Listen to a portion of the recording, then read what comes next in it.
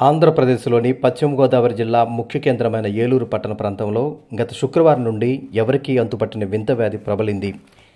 పట్టణంలోని శనివారపేట కొత్తపేట దక్షిణపు వీధి తూర్పు వీధి తంగలమూడి ఇలా పలు ప్రాంతాల్లోని కొందరు పిల్లలు యువకులు మహిళలు వృద్ధులు అకస్మాత్తుగా మూర్చ వచ్చి నురగలు కక్కుతూ స్పృహ తప్పి పడిపోతున్నారు. వైద్యాధికారులు సకాలంలో స్పందించి తగిన ఏర్పాట్లు చేశారు. వైద్య ఆరోగ్య శాఖ మంత్రి ప్రాతినిధ్యం వహిస్తున్న నియోజకవర్గం కావడంతో ఏర్పాట్లు చురుకుగానే సాగాయి.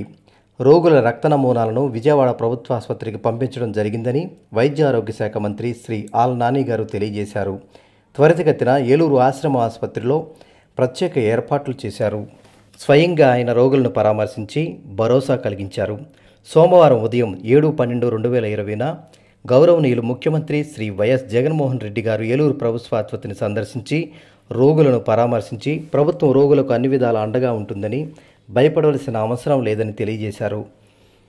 వైద్య సదుపాయాలు ఏర్పాట్లు ఎలా కొనసాగుతున్నాయో వైద్య అధికారులను అడిగి తెలుసుకున్నారు. నీటి కాలుష్యమని గాలి కాలుష్యమని పాల కాలుష్యమని కొత్త వైరస్ అని ఇలా వదంతులు వ్యాపిస్తున్న నేపథ్యంలో కారణం ఏది ఏమైనప్పటికీ ప్రజలు భయాందోళనకు గురికాకుండా సంయమనంతో ఉంటూ వదంతులను నమ్మకుండా వ్యక్తిగత పరిసరాల పరిశుభ్రతను పాటిస్తూ ధైర్యంగా సమస్యను అధిగమించాలని అందరూ తిరిగి సాధారణ స్థితికి రావాలని కోరుకుంటూ మీ టీవీఎన్ నైంటీ నైన్.